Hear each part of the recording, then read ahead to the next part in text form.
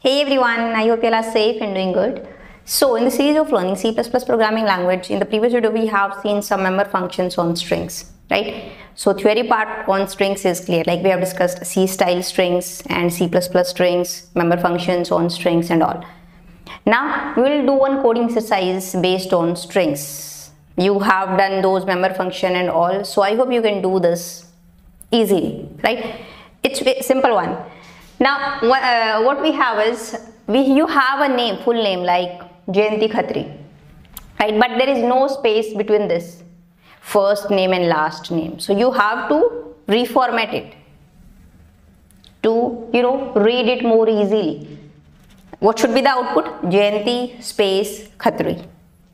Okay. Now what you have to do see you have to uh, you know remember some points. First thing what you have to do is you have to declare and initialize a variable like first name you can take or any variable you can take from this variable from this given string variable full name right? How to initialize this thing we have discussed in previous videos. So you have to you know re uh, revise those videos those things first right? Next thing what you have to do now in the next part you have to take another variable another string variable last name and you have to initialize this last name using substring method. So in the first name you will fetch Jayanti from full name. In the sub uh, second in the last name using uh, substring you will fetch only Khatri. Right? Then you will con concatenate this f name and l name using plus operator. But obviously this would be same as this. If you will concatenate both Jayanti and, and Khatri like first name and last name you have to insert a space between Jayanti and Khatri using using insert member function. You have to use insert this function to insert a space between Jayanti and Khatri right? See there are many ways to do this thing. It's very simple. But you have to perform these tasks to achieve the formatted full name right so pause the video and try this out. So let's create a new file. I hope you have done this. So first we'll take a string variable uh, full name right? And here we have any name you can take right? Let's take we have Jenny's lectures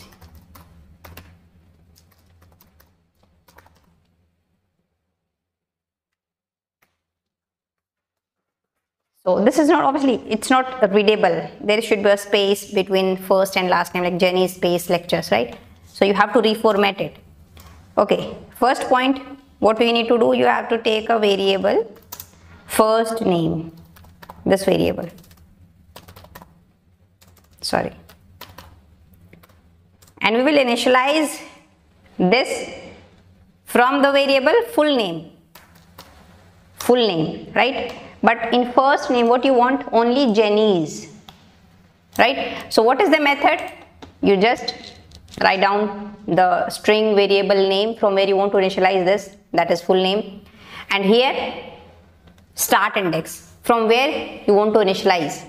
The first character from where you want to take from which position from which index. So from 0 and next would be the length. How many characters you want to fetch? So length would be till s. This s. So 1 2 3 4 5 6 7 so 0 and length should be 7 right? So if you want to check out then you can just print this f name. And you can check whether in in this name you have jenny's or not. See let's run this and see jenny's right okay it's it is working fine. Now comment out this thing. Now second variable uh, name we will take that as l name. Or last name. And we will use here substring.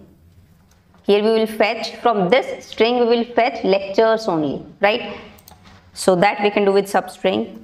So name of the that string variable full name dot we will call sorry not full it's full name full name dot substr and here you need to give first two argument.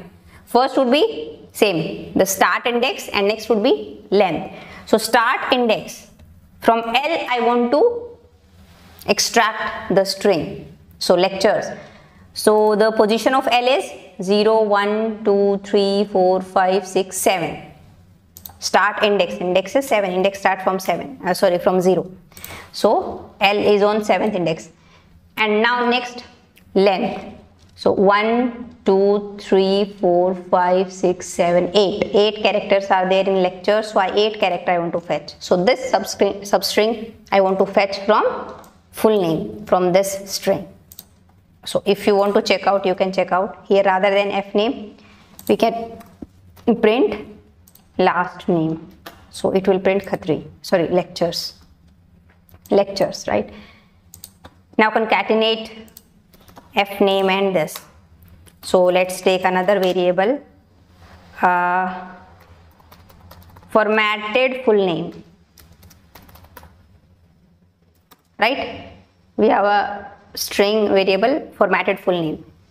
So now formatted